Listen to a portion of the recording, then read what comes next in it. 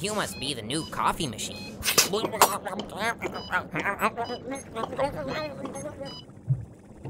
It's aggressive, but I like that in my coffee makers.